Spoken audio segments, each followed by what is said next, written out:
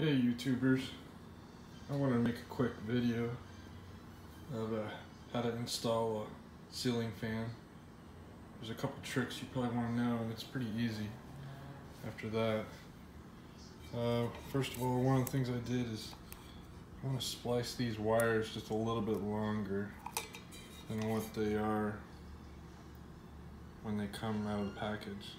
Maybe a quarter inch more, just so you can wrap around your wires.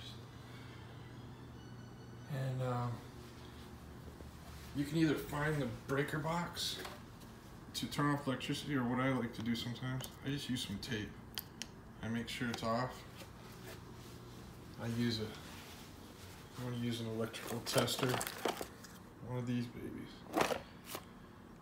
And then uh, make sure your electrical's off. And one thing I wanted to share about this, it's really important, is that these are pretty heavy, these ceiling fans. And in my case, this electrical outlet was set up for just some light overhead lights. So you can see these two screws were available to put some screws in, but that's not enough to hold this. So this plate, I had to drill four separate holes. You can see here my screws are already in. I already got it attached to the ceiling. But I had to drill, drill through this with four small holes big enough to take this screw right here. These are the must-have to install this.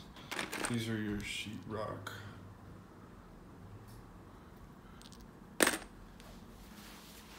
And other than that,